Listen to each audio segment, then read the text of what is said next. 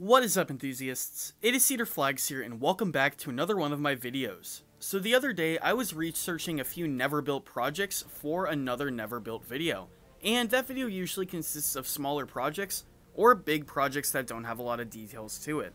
But oh my goodness, while I was researching, I saw this project that was cancelled and let me just say, it is definitely big enough for its own video.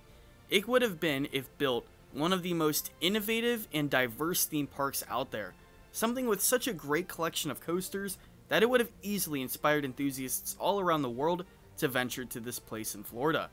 Florida has a lot of parks. You have Disney, Universal, Fun Spot, SeaWorld, and nearby Busch Gardens. But did you know that in the early 2010s, there was going to be another competitor up in this batch of parks? This is the Orlando Thrill Park. Other parks mainly focus on theming in the area, but this park would have focused mainly on the thrills and would have been catered exactly to the roller coaster enthusiasts. It would have some rides that are extremely rare, never built, and one of the tallest coasters in the world. So let's get right into it. This is Cedar Flags, and today we are going to talk about the story of the never built Orlando Thrill Park.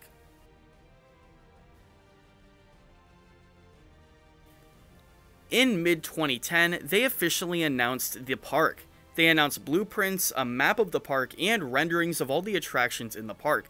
And from first glance, you could definitely see a lot of coasters inspired off of rides at Magic Mountain and Cedar Point, and we'll get to that. In fact, they were so confident about this happening that they had a spot at that year's IAAPA conference. They had a booth, they talked to people like in the loop and theme park review. So yeah, this was a pretty big deal back in the day. So, the story starts off in the late 2000s when a company developer called International Drive Investors LLC, referencing, of course, International Drive in Orlando, Florida, planned on building a massive amusement park. They looked at all of the theme parks in the area and wanted something that catered exactly to the enthusiasts. At the time, roller coasters were, well, very competitive. Kingda Ka just came out, and many other rides like El Toro and Maverick were changing the game. So, they wanted a little bit of a piece of the action of the roller coaster industry. They took a lot of inspiration out of parks like Six Flags Magic Mountain and Cedar Point to build something with a bunch of world-class roller coasters. Now, a lot of these parks have a lot of stuff that caters to kids, but not this park. This park was going to be all thrills and nothing else. There were going to be some family attractions, but, well, there was definitely a major focus on the thrills. With all of these ideas and inspirations, they came up with a brilliant idea called the Orlando Thrill Park, a park, like I said, catered to the thrill seekers. It was going to be located on a 78 acre plot of land right off of International Drive, right across the street from Fun Spot Orlando, and pretty close to Universal as well. This was going to be one of the biggest parks in the area. Sure, it wasn't a 100 plus acre plot of land like the other parks, but this park promised to have the biggest coaster collection in the greater Orlando area. So let's get into those coasters. Thankfully, according to the LA Times, we have information about each and every ride. So let's get into that right now.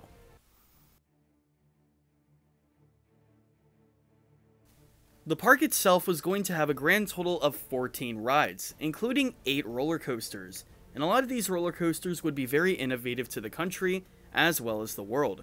So let's get right into these models. The first model was going to be a Vekoma motorbike style roller coaster. The Vekoma motorbike roller coaster was the first roller coaster that they talked about. This would be one of the only family-oriented attractions in the entire park, and said that they were inspired off of Pony Express at Knott's Berry Farm, though the layout would be much more similar to a ride like Booster Bike at Toverland. The speeds would go up to 50 miles an hour and be very similar to Booster Bike, but of a slightly different layout with a family setting. The next roller coaster that they announced was going to be a Mack launch roller coaster, similar to Blue Fire at Europa Park. Now, at the time, this was a massive deal, because the only existing modern Mack coaster at the time was, well, Blue Fire, which was the prototype. This would have been first of its kind in the entire hemisphere, and let's just say that a lot of enthusiasts were hyped about it at the time, because, well, they didn't know what it was going to have. In fact, it was going to be about 160 feet tall, and much bigger than Blue Fire. They never confirmed if it was going to be a multi-launch or not, and guessing by the time and the technology that Mack had, I'm not 100% sure it did. But a single launch to Mack coaster going over 160 feet in 2010, yeah, that would have been a big deal. Unfortunately, the plans of this never really came out, and we never know the true layout of this ride. After that, they said that they were going to introduce a Vekoma SLC. Now, we know about the Vekoma SLC and we know how much hate it gets, and I'm pretty surprised that this was in the lineup. They did have a lot of rides by Vekoma, and we are going to get to some more, but this was going to be a typical Vekoma SLC clone, nothing too special about it. The next one, though it is another clone, is definitely way more interesting. This was going to be a Vekoma Stingray. Now at the time there was only one Vekoma Stingray that was overseas, and it's basically a modern take on the Flying Dutchman that is much more compact. This was Vekoma's modern excuse for a flying coaster in between the Flying Dutchmans and Fly at Phantasialand. This was going to be a clone of that exact same coaster, and would have been only the second of its kind. Unfortunately, the one existing Vekoma Stingray went away, and the coaster model went the way of the Dodo because, well, none other Stingrays were built. The next coaster they announced was going to be a clone of an Intamin ZacSpin. They were inspired off of Green Lantern First Flight after its announcement at Six Flags Magic Mountain, and even though it opened the next year, we knew about it at the time of the announcement of the park. So they were heavily inspired off of the unique layout and wanted to make something similar. But instead of that clone, they would have made it a clone of the 25 meter versions. Of course, now ironically, we know about what happened to the Intamin ZacSpin at Magic Mountain. Of course, it opened with some good hype, but eventually, with a few restrictions and laws, its reputation quickly crashed to the ground. And they finally dismantled the coaster, said they were going to relocate it, and well, they never did. So it really shows you, well, how good this coaster would have been. Now we get into some pretty interesting coasters. This next coaster is a dive pretzel coaster. Now I think this coaster model itself could qualify for a segment on one of my never built videos because, well, it's definitely a very interesting model, and thankfully we have renderings for what this would have looked like. First off, we know that this would have been made by both Vekoma and Chance Rides, which is definitely a very interesting compilation of manufacturers, because we don't see many rides built by multiple manufacturers. This was going to be its prototype model, and the ride would have been a very compact layout. Creators said that it would have been inspired off of the old school Schwarzkopf loopers, and the stats that were shown were that the ride would be around 148 feet tall, have multiple inversions, and have a layout of around 2,000 feet long. This was designed to be compact and another one of the many thrill rides in this park. The next coaster that was announced, which is the seventh of the eight coasters, would have been an S&S 4D coaster. I'm not talking about the S&S 4D free spins, I'm talking about the massive models that they've made overseas, like Eejanaika and Dinoconda. These rides are critically acclaimed and people absolutely love them. And of course, those were inspired off of, well, X2, a ride at Six Flags Magic Mountain. So it's safe to say that this ride was inspired off of X2, but would have been S&S. The ride would have been exactly 200 feet tall, keeping it from beating the 4D record and actually being the shortest out of the four, counting this one, 4D roller coasters. This was a very hyped up roller coaster by them, and would have probably been everyone's favorite at the park if this ended up being built. The final roller coaster that they announced was definitely the final one for a reason, and this one got the most turning heads. What was it? Well, it was an Intamin inverted strata roller coaster that is right, not a strata, but an inverted strata. Now, I assume they mean like an Intamin impulse where the trains are under the track, as opposed to something with an inverted top hat, because they mention nothing about an inversion. It would be weird to see an inverted strata coaster, but maybe they wanted to go for the tallest inverted coaster model? I'm not 100% sure.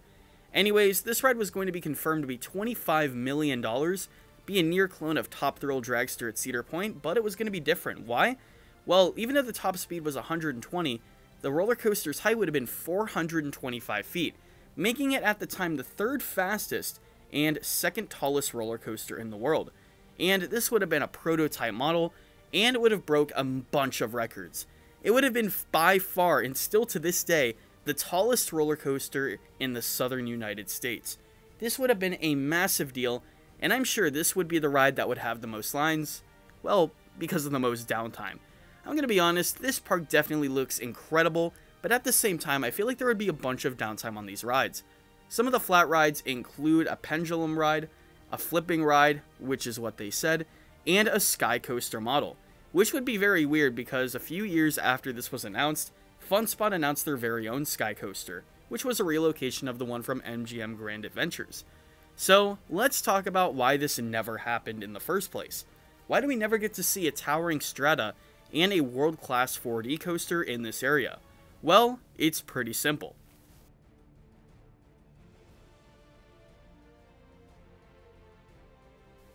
So, unlike all of the other parks in the Orlando area, this one was located directly across the stream from a neighborhood. This one was basically on the side of a neighborhood, and that showed a lot of problems.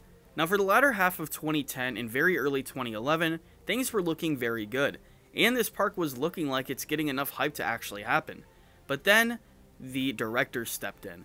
So by early 2011, things were getting extremely serious, and they went to the developers of Orlando, and, well, what happened? They went to the municipal planning board and they instantly shot down the idea because of, like I said, the neighbors complaining about noise. Now, unlike other theme parks, this park really didn't have many techniques.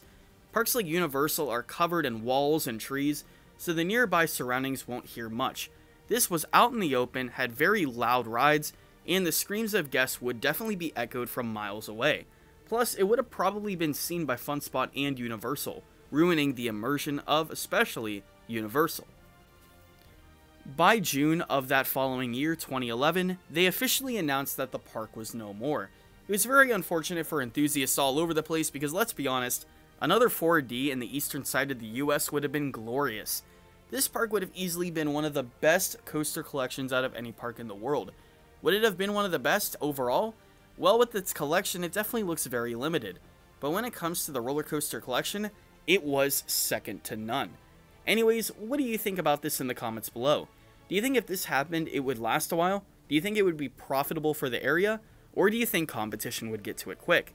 Let me know down in the comments below. This is Cedar Flags, and I will see you all later.